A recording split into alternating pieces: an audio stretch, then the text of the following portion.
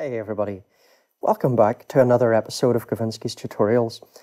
Now it doesn't seem like that long since Ice Gear or Iceworks, um, the Dev Satoshi, dropped his wonderful Yukawa sequenced delay.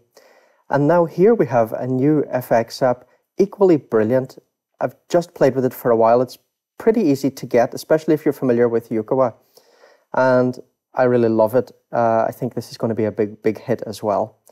So it's a sequenced gating, sequenced gating effect. Let's have a listen to what it can sound like.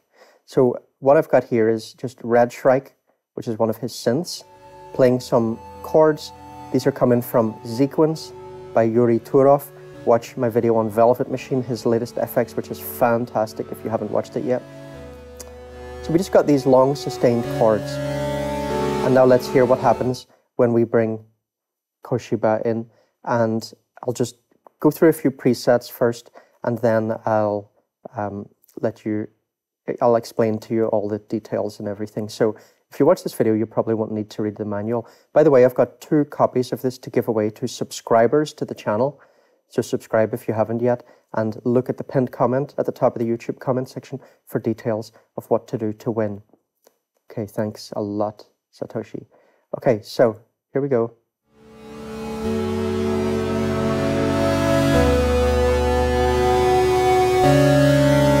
Second.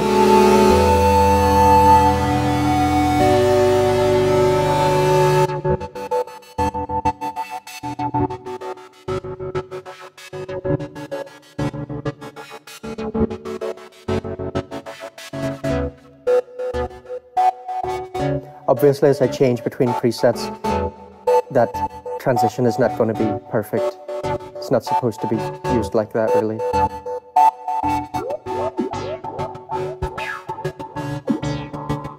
I mean, it can be as long as the presets work well together.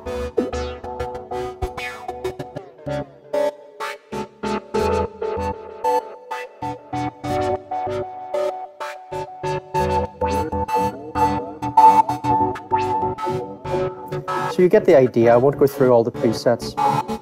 I'm going to make this video pretty short. So first, let me just give you a very quick overview, and then I'll go through and explain things and let you hear what they sound like.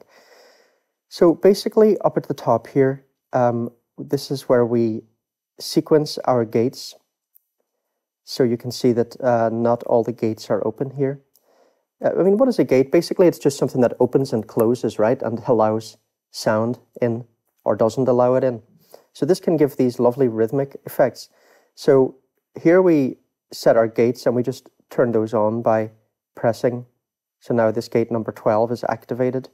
Now here we change the rate and here we have steps. Now up here, this is where we put tied notes. So you can see, for example, step four and is tied to step five. And that's why if I press here on step five, it won't do anything. I'll explain that in a second in more detail. So down here, below this, here we have, you see how this part is changing, right, when I click on these? Because basically if I click here, it's going to allow me to change the filter settings for that particular gate and the amp settings for that particular gate. I'll look at all this in more detail later. Um, then now down here at the bottom, okay, here, let's look at this part first. So here we have our uh, send FX part. So if you see here, okay, in the individual amp section for each gate, we have a send level. So we can send the sound from that particular gate out here to the delay. And the delay is a filtered delay, much like in Yukawa. Again, I'll look at all this in more detail in a second. Then over here on the left, here we have our mixer section where we can do things like change the gain and the relative levels of the gate and the send FX output and other stuff. Okay, so let's now just um, bring in the sound again. Let's just change preset. Find something that'll work well with this.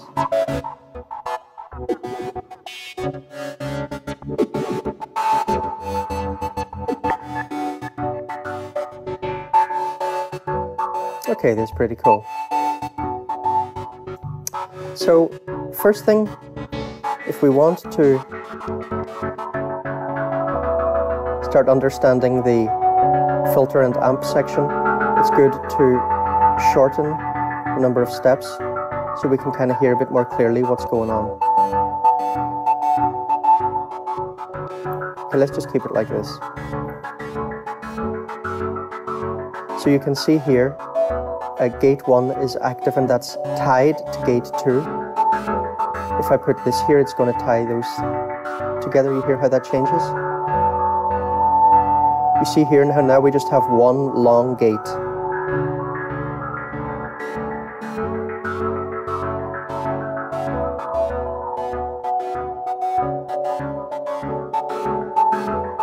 Now we have three, okay?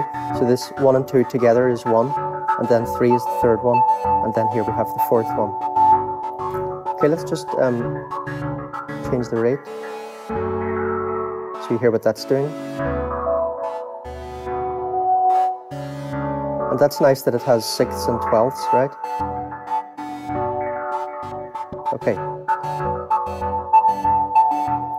So over here we have the gate time. Let me just bring all the steps up.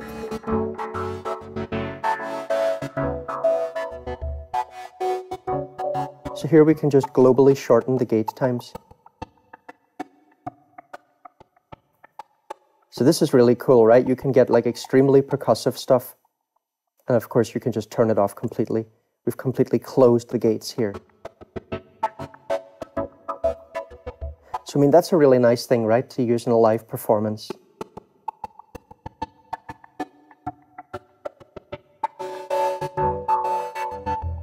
We have swing.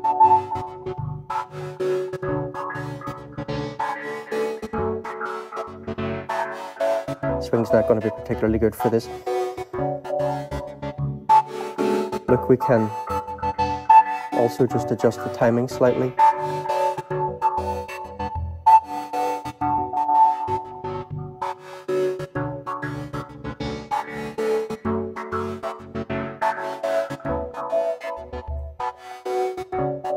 By the way, there's a copy button here, so obviously you can copy and paste, but I haven't looked into that yet. Okay, now let me bring the steps down again. I'm going to bring it down to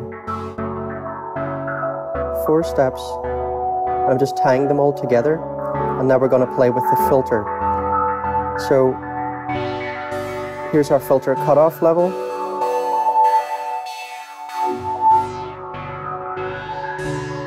and we have an envelope amount. We can do positive or negative, and these are the envelope shapes. Let's listen to how that can change things. I'll put it pretty extreme.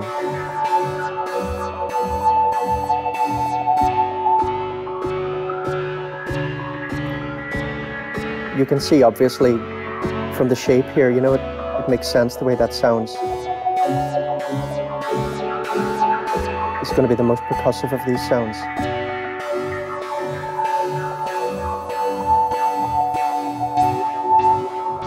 Let's listen to what it's like when it's negative.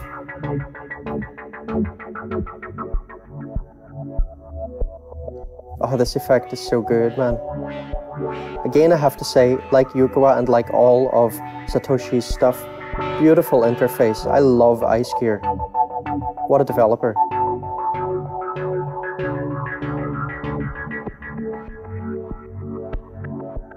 Oh, okay, so here we have an LFO. Here we have our LFO rate. You can see at the moment it's very short, right?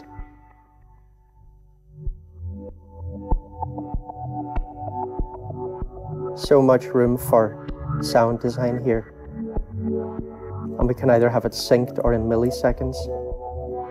And here we're controlling the amount of resonance at the cutoff point. Oh, funky. I love this, love it. Drive amount.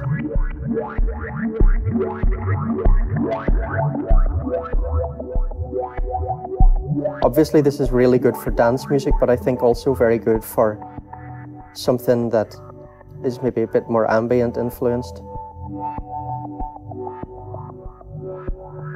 Okay, now over here, um, let me just change that.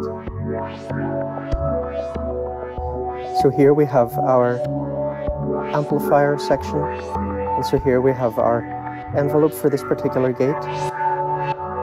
So you see here we're getting a really long attack, and here we've got that short attack. You can hear that lovely percussiveness.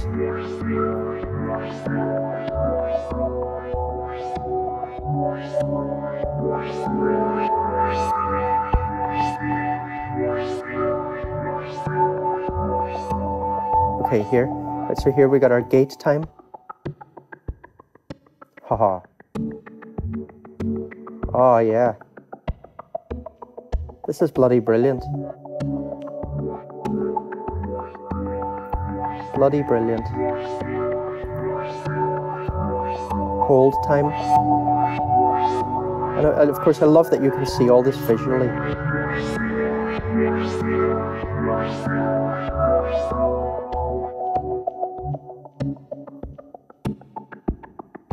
This is beautifully done, this envelope section.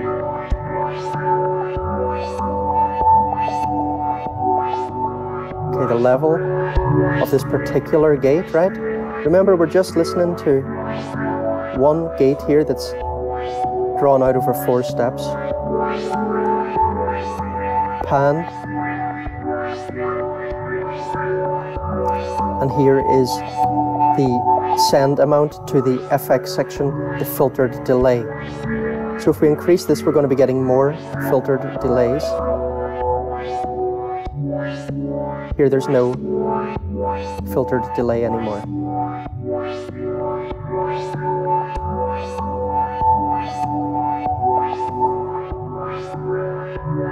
So let's put up the send level quite high and now we'll look at the send section.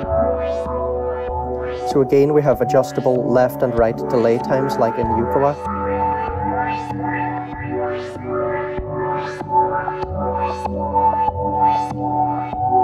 This is so fantastic. Okay, modulation, amount and rate.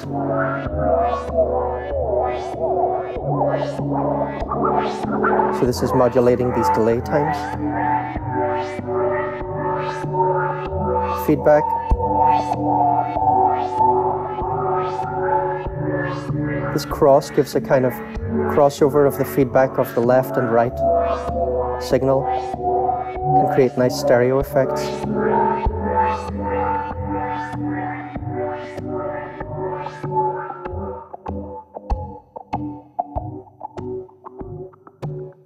You hear the difference?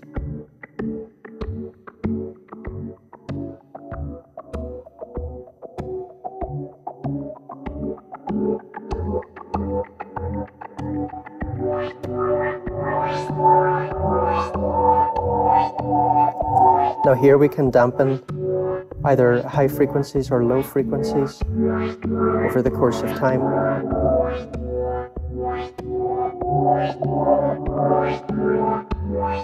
Here we've got a high pass filter.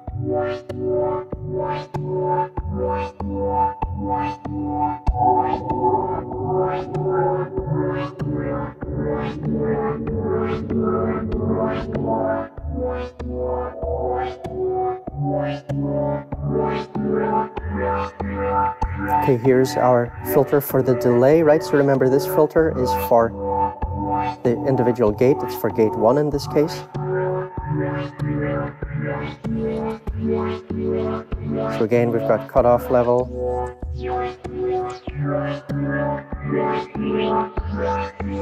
Modulation amount and rate, synced or unsynced.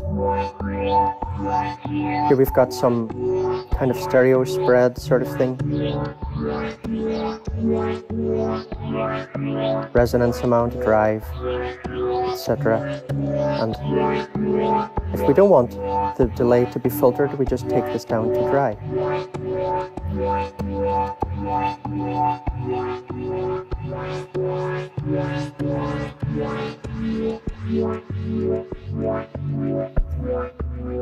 Over here then, we control our input gain.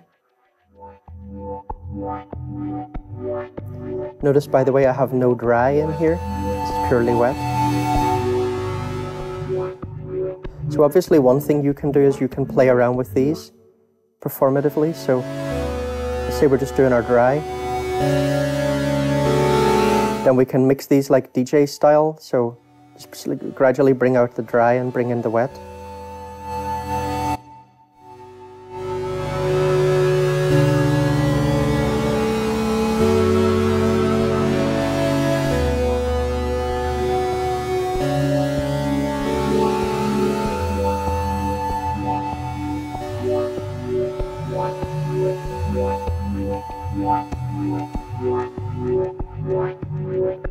That very well, but you get the idea.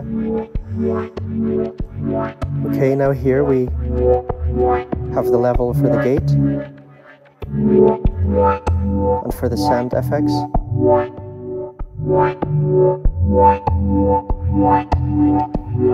an EQ and we can see here so the gate goes into the EQ the gate can also go to the send FX if we want. It doesn't have to right? If we take the send FX level down it won't. And then together that goes into the EQ then into the compressor and into the wet.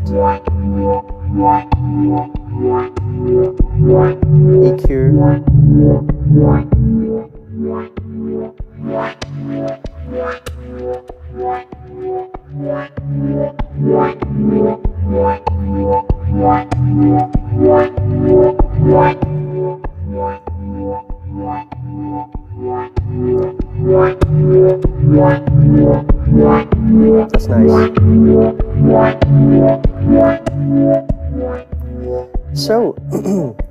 ladies and gentlemen. Uh, I will definitely be coming back to this in future videos, and I'm going to be using it a lot. It is so cool, absolutely wonderful. Um, just uh, Ice Ice Gear Iceworks. Sorry, I always forget which one is the old name and which is the new one. Um, let's check the App Store. Iceworks. Okay, Iceworks is the new one. Uh, Iceworks have just knocked it out of the box here, box here again. This is bloody brilliant. Um, what a fantastic developer. Love his stuff. Okay, everyone. So um, if you've made it this far, thanks for watching the whole video. And please make sure you subscribe if you haven't already. Uh, I usually have codes to give away and stuff like that. Um, so hit that notification bell as well to make sure that you, you know, because the codes are only available in the first two days of videos. So hit the notification bell and then you'll make sure you won't miss out on future offers. At the moment, I generally tend to bring out um, two or three videos a week. So that's quite a lot of uh, free apps to give away. Thanks a lot to the developers there for supporting the channel. Okay, everyone, I'll see you in the next video. Take it easy.